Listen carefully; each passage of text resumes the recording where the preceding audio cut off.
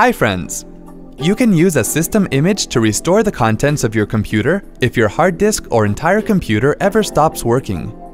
Do you want to know how you can create system image backup of your Windows 8.1 computer? Let's go ahead and see how you can do so. On the Start screen, click on the desktop tile to open the desktop. Click on This PC to open it. Here for demo purpose, we are creating a backup of C drive into D drive. Check the used space of C drive. Also, check the free space of D drive. It should be more than the used space of C drive. Now close all the windows and go back to the Start screen. On the Start screen, start typing Windows PowerShell and then click on Windows PowerShell to open it. Here for demo, we are typing the command to make a backup of C drive into D drive.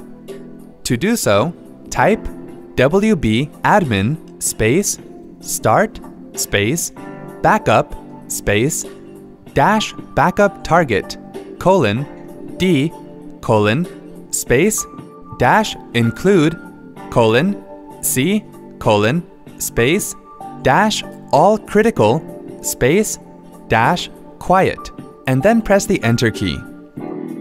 It may take several minutes to complete the backup process depending on the data you have in your C drive. Once you get the message, backup operation successfully completed, type exit and then press the enter key to close the Windows PowerShell window. Now you can access D drive to see your Windows image backup folder. See? That wasn't hard at all. Thanks for watching. For more details, click on the eye icon on the top right of the video. Check out our iYogi channel for self-help videos on Windows, Mac, smartphones, security, social media, and much more. Have something to ask or share? Pen it down in the comments. To get iYogi tech support, dial toll-free numbers.